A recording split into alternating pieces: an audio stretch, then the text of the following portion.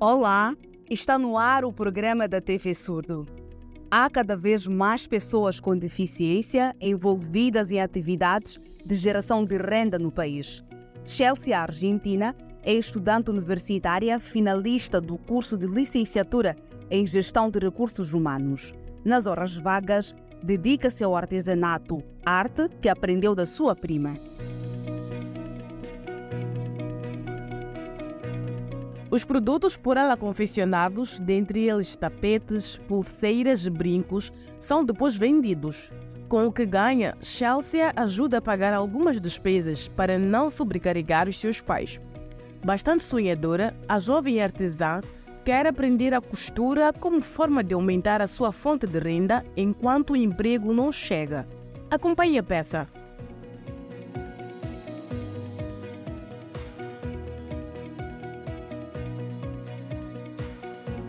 Chama-se Ciência Argentina, jovem com deficiência físico-motora. Graças a sessões de fisioterapia, consegue se locomover com talas e canadianas. A minha deficiência foi através do, do parto.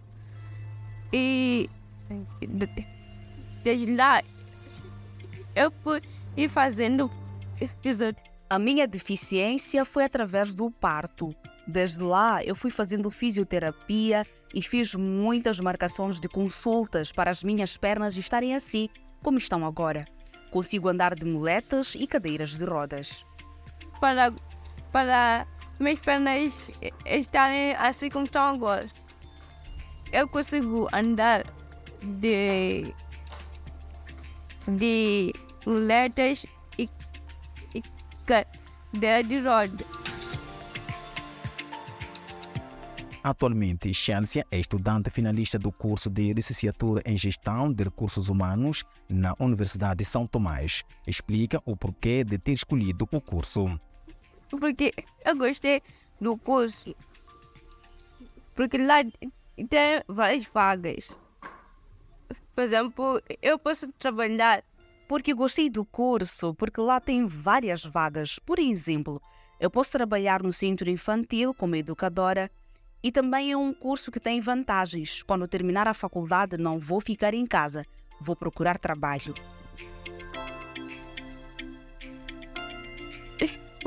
Quando eu terminar, não ficar em casa, mas procurar trabalhar num lugar qualquer. Sim.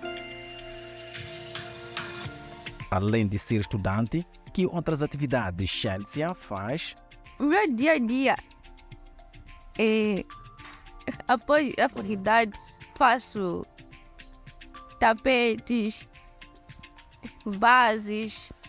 Meu dia a dia, após a faculdade, faço tapetes, bases e costura. Agora, gostaria de aperfeiçoar mais a costura, uma vez que ainda estou a aprender. Depois, hei de vender ou fazer uma exposição, como por exemplo nas feiras. Gostaria mais de, de aprender a fazer crochê. Crochê. Sim. Para o futuro, a jovem estudante tem muitos sonhos. O sonho é ser gestora de recursos humanos. E... O meu sonho é ser gestora de recursos humanos. É trabalhar como estilista, trabalhar costurar. Como estilista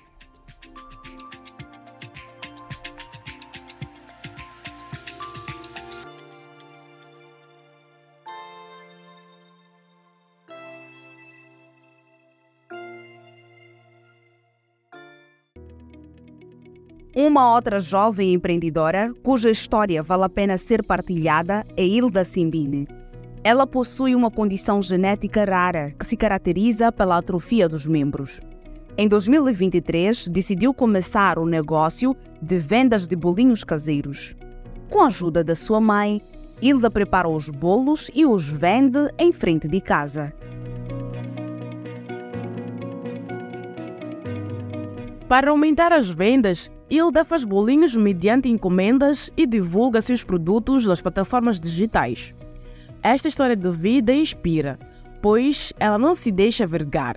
Detalhes na peça que se segue.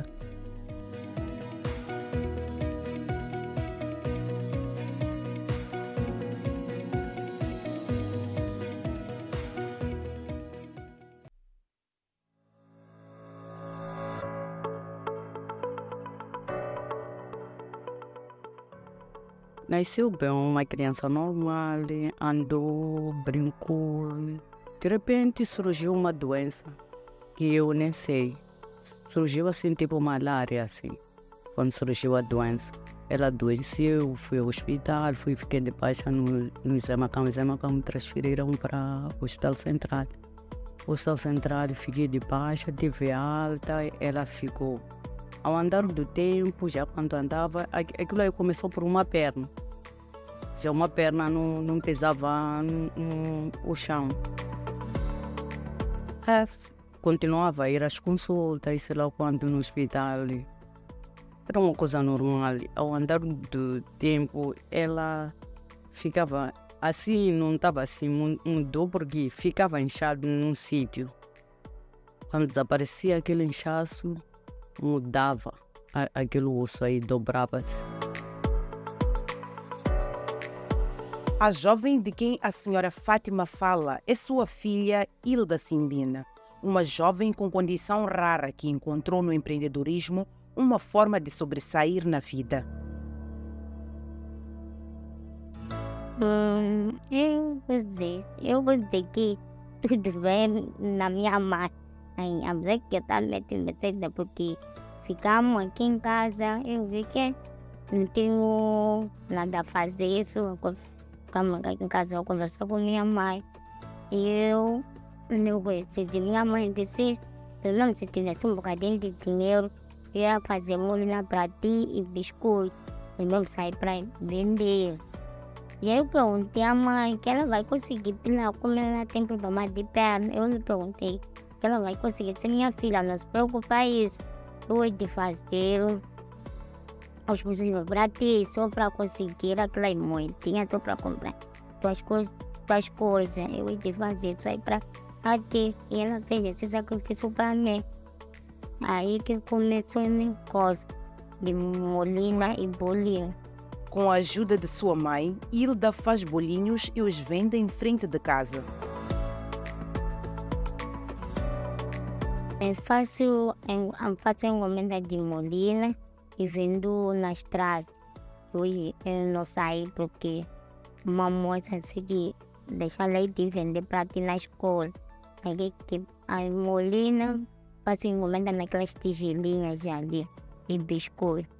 Biscoito, a molina de 10 no plastiquinho e bolinho de 5 é que fica na estrada frente do seu pequeno negócio consegue ter algum dinheiro para cuidar de si e ser um pouco independente? Do mês posso dizer que uh, uns 200 ou 150.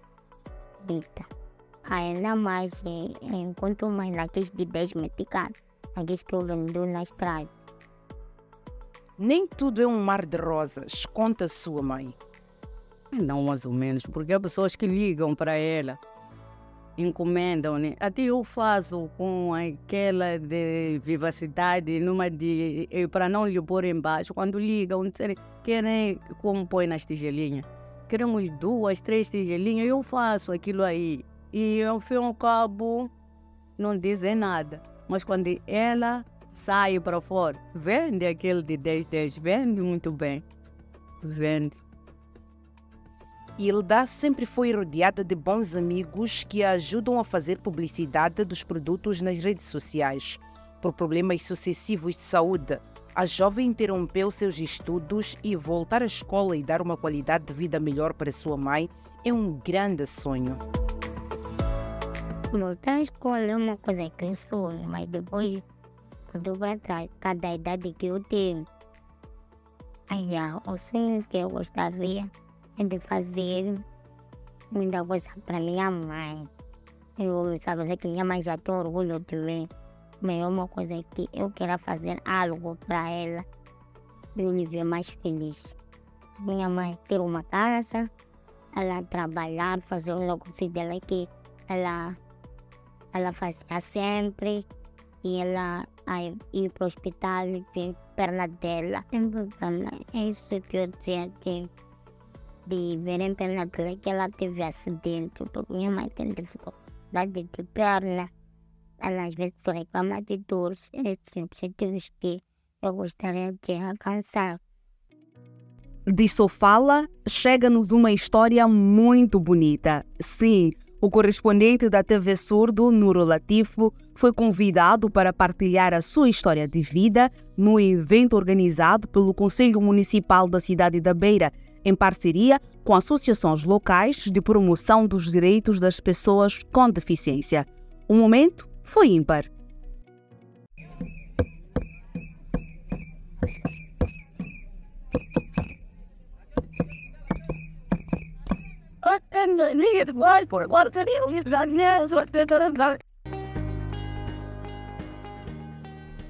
Jornalista e ativista social da TV Surdo da província de Sofala, Nuro partilha sua história de vida em uma feira de intercâmbio que teve lugar semana finda na cidade da Beira.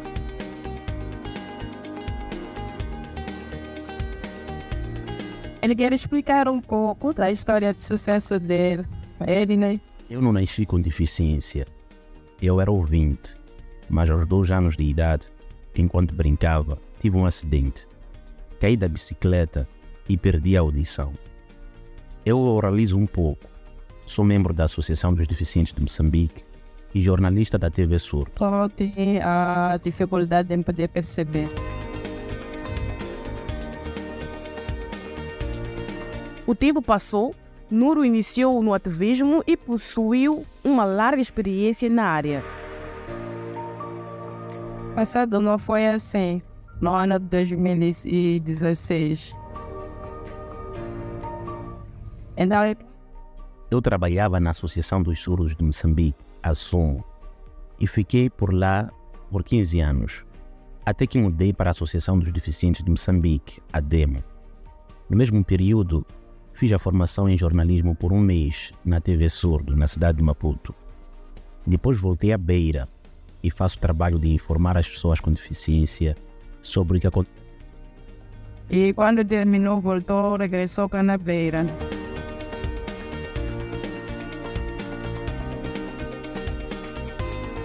Para além de jornalista, Nuro tem formação em eletricidade e partilha sua experiência.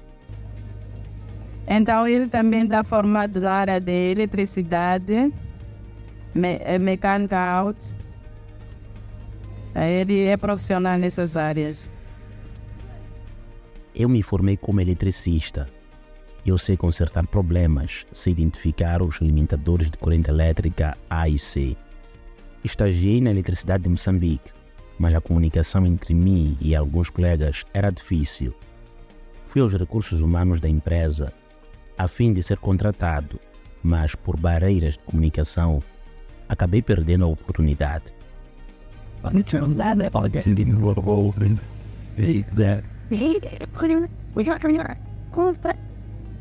E o curso de eletricidade, mas assim que terminou o curso, as pessoas ficaram preocupadas como é que nós vamos comunicar com ele. Como é que ele vai subir nos postes sendo uma pessoa com deficiência? Então, a barreira de comunicação E há réplica destes eventos em todo o mundo. Esta iniciativa surgiu porque o Dia das Boas Ações já é um dia internacionalmente celebrado em vários países, mais de 110. Temos a Angola, temos Portugal, temos o Quênia, vários mesmo. E até então, Moçambique tem participado, mas apenas com atividades feitas na província de Maputo. Então este ano decidimos ativar a equipa de Sofala Participaram do evento pouco mais de 200 pessoas, associações de pessoas com deficiência e a sociedade civil.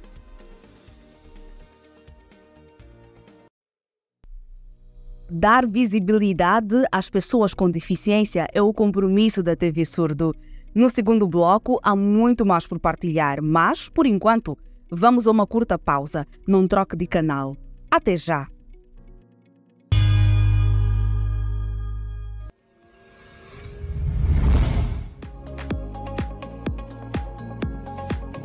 Olá, hoje vamos falar das eleições.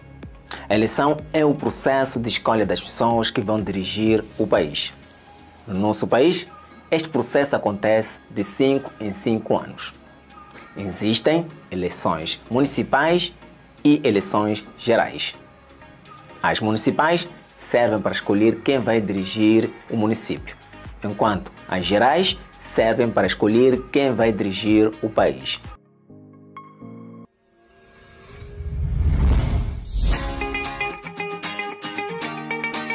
Olá! Para exercer o seu direito ao voto, só precisa de seguir os passos. Dirija-se ao local onde se recenseou e identifique a sua assembleia de voto. Em caso de dificuldade, peça ajuda aos agentes que estiverem em serviço. No interior da assembleia de voto, apresente o seu cartão de eleitor ao membro da mesa de voto e siga as orientações. Quando estiver na cabine de voto, com a caneta que lá encontrar, assinale com um X no quadrado do seu candidato preferido. Não pode votar mais do que uma vez. Se falhar, rasurar ou inutilizar o boletim de voto, peça outro ao membro da mesa de voto e devolva o inutilizado.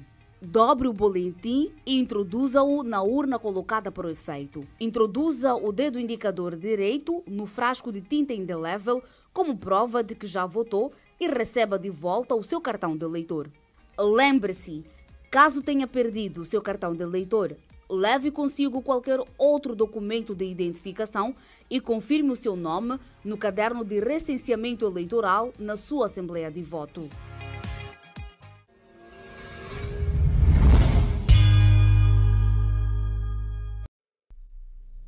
Olá, estamos de volta à segunda parte do nosso programa. No primeiro bloco, dedicamos especial atenção a contar histórias de pessoas com deficiência que mostram que o limite do ser humano é a mente.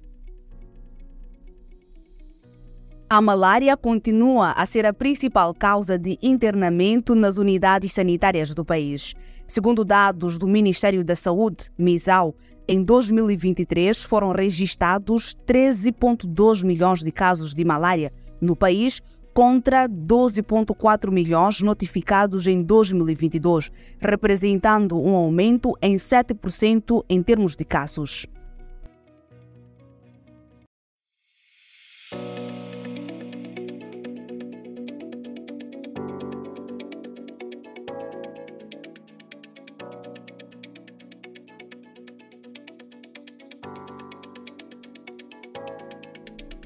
Moçambique passa a contar, desde 25 de abril, com a Estratégia Nacional de Mudança Social e de Comportamento face à Malária, um documento que tem como objetivo reduzir o nível de infecção e mortalidade pela doença no país.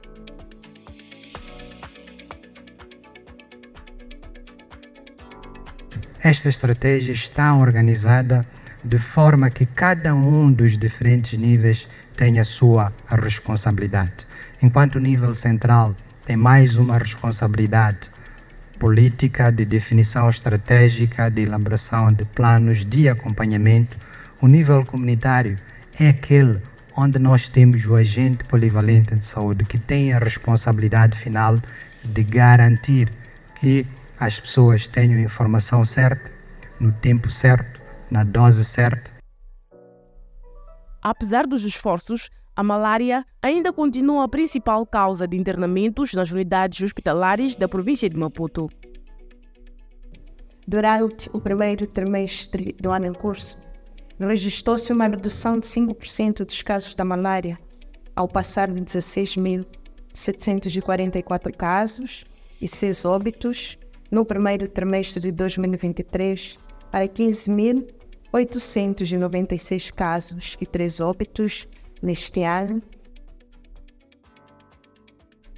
Dados apresentados por Armindo Tiago, ministro da Saúde, apontam um aumento de casos de malária em 2023 quando comparado ao igual período de 2022. Os dados disponíveis mostram que em 2023 foram registrados cerca de 3, 13 12,2 milhões de casos de malária no nosso país, contra 12,4 milhões notificados em 2022, representando por isso um aumento de 7% em termos de casos. De 2022, registramos 423 óbitos e em 2023 registramos 500, 356 óbitos. Esta é uma redução em 16% em termos de óbito em termos.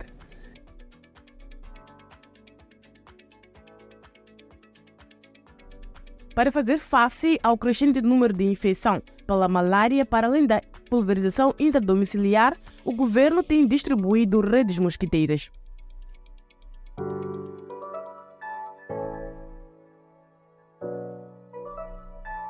Em 2023 foram distribuídas cerca de 18 milhões de redes nas consultas pré-natais e nas comunidades através da campanha.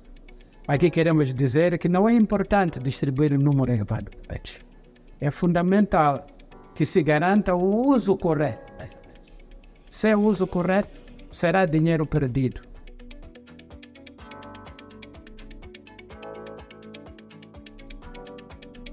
Ciente da resistência no uso das redes mosquiteiras, vai ser lançada este ano a primeira campanha de vacinação contra a malária no país, garantiu Tiago.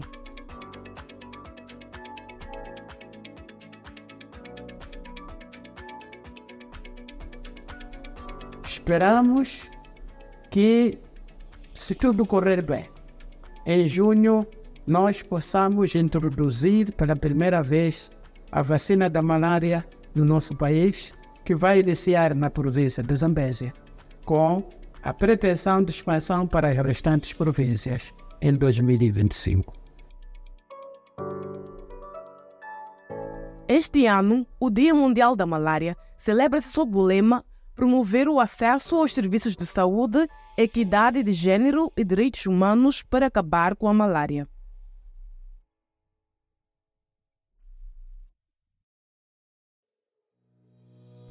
A Procuradora-Geral da República, Beatriz Buchile, no seu habitual informe à nação, disse que a maioria dos raptos em Moçambique é planeada no país vizinho, a África do Sul, fato que dificulta o combate a este tipo de crime, refere a informação anual da Procuradoria-Geral da República apresentada no Parlamento.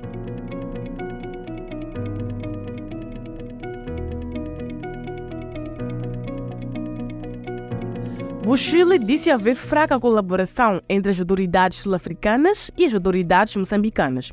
Por isso, há muitas impunidades e mandantes destes crimes continuam a gozar de liberdade.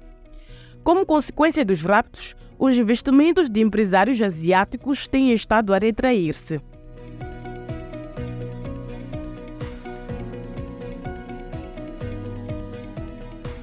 Em 2023, foram abertos sete processos crime de rapto, uma queda de 53,3% em comparação com o ano anterior, em que foram registrados 15.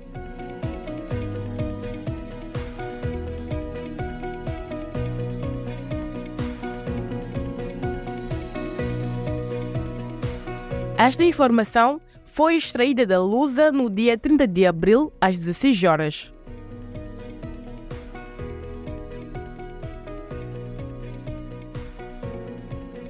O Fórum das Associações Moçambicanas de Pessoas com Deficiência, FAMOD, promove em Maputo workshop para discutir a nova lei de promoção dos direitos das pessoas com deficiência, recentemente aprovada pela Assembleia da República. Há muita expectativa sobre a lei, mas também algumas penumbras. Acompanhe a peça. O Fórum das Associações Moçambicanas de Pessoas com Deficiência, FAMOD, promove em Maputo um workshop para apresentação e reflexão em torno da Lei de Promoção e Proteção das Pessoas com Deficiência, recentemente aprovada pela Assembleia da República.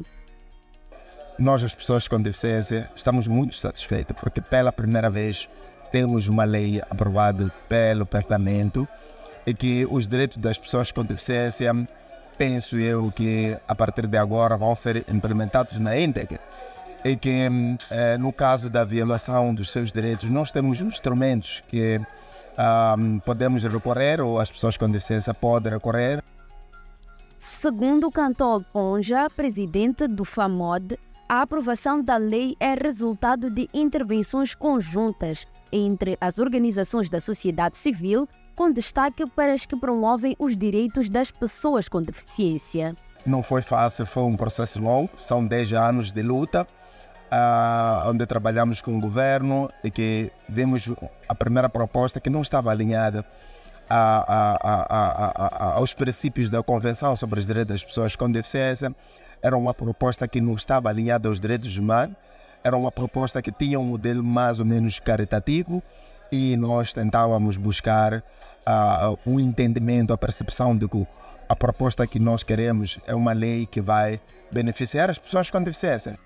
Entretanto, de acordo com Cantol Ponja, a lei ainda apresenta lacunas.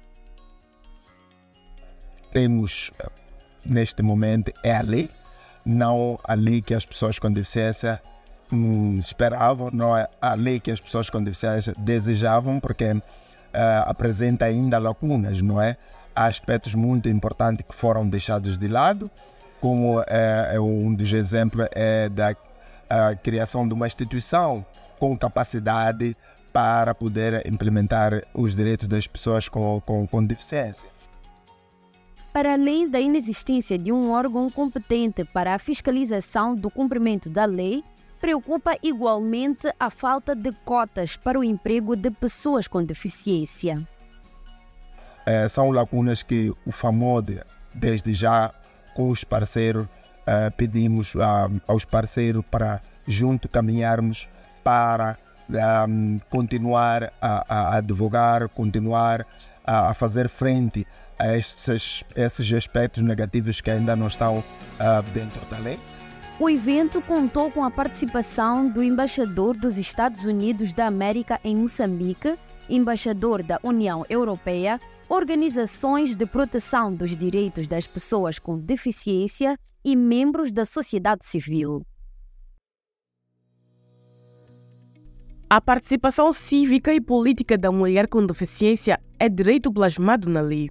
Garantir que todos participem e respeitar os direitos humanos é uma prioridade, defendem membros de organizações de pessoas com deficiência em entrevista à TV Surdo.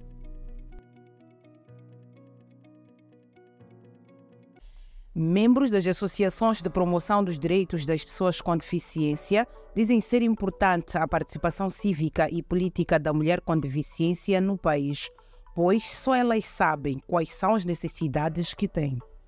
A mulher, como tal mulher, ela por si só já é um membro muito influente na, na sociedade. E se temos a mulher com deficiência a participar desses processos cívicos, isso vem ajudar a aumentar a visibilidade da mulher com deficiência, porque sendo mulher com deficiência tem muitas necessidades, tem muita preocupação, tem muita coisa que a mulher com deficiência precisa e só a mulher com deficiência poderá falar daquilo que são as suas preocupações Para as nossas fontes, a proibição da participação da mulher na política é uma das piores formas de discriminação dos direitos humanos. Tem um impacto da proibição das mulheres com deficiência participarem das eleições. Eu acho que isso faz parte da discriminação e preconceito porque afinal de contas a Constituição da República diz que somos todos iguais, independentemente do seu estado físico. Então, não vejo qual é o problema de proibir essas mulheres nas eleições, que também temos os mesmos direitos. Um outro fator que pode estar a contribuir para a fraca participação política da mulher está relacionada ao fato de as mulheres ainda dependerem da decisão dos seus companheiros para votarem. Tem-se dito que o voto é secreto. Mas, na realidade, não existe nenhuma confidência. Porque, afinal de contas, as nossas urnas ou não estão adequadas para a pessoa com deficiência poder depositar lá o seu voto. Vou falar da pessoa com deficiência visual. Essa pessoa com deficiência visual precisa de estar acompanhada de alguém onde possa lhe explicar e dizer que ponha o xixi aqui, estou colar. Então, para a pessoa com deficiência visual, já não existe nenhuma coisa que é secreta. Por isso, deixam ficar um apelo. Todas as pessoas com deficiência, surdos, cegos, têm liberdade, têm direito de se licenciar. E nenhuma pessoa com deficiência deve ser deixada de lado. Deve-se respeitar esta liberdade.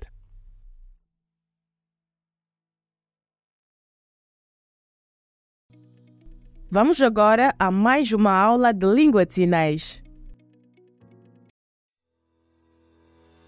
Olá, bem-vindo a mais uma aula de língua de sinais.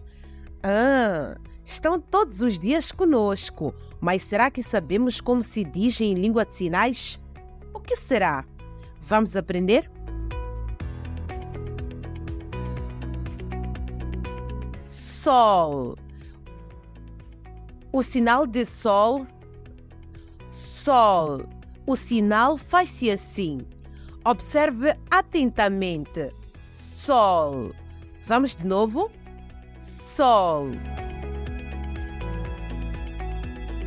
A amiga do sol é a. Isso, lua. Olha o sinal. Lua.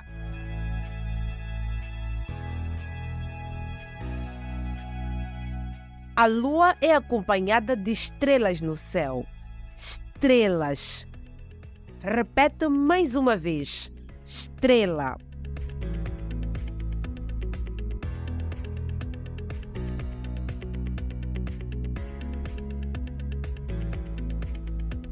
E quando não podemos ver o Sol, a Lua e nem as estrelas, é porque temos a nuvem cobrindo elas.